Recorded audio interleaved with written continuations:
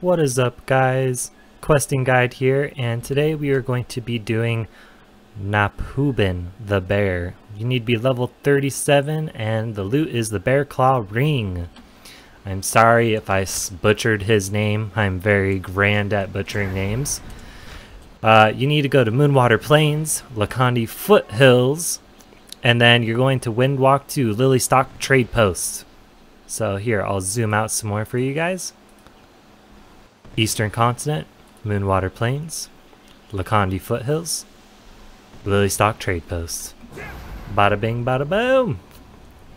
So, you're going to see him on your map if he is spawned currently, which he is. And as you can see, he is the biggest bear here. Let's go ahead and try and kill him, shall we? He's actually pretty easy to kill. I've killed him solo at like level, much earlier levels from what I remember.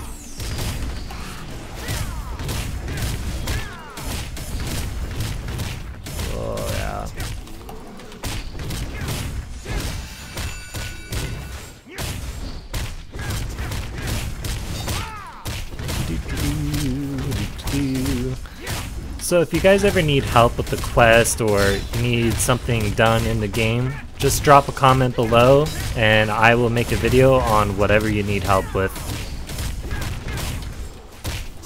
I'm doing my best to cover just about everything in Blade and Soul. Just about.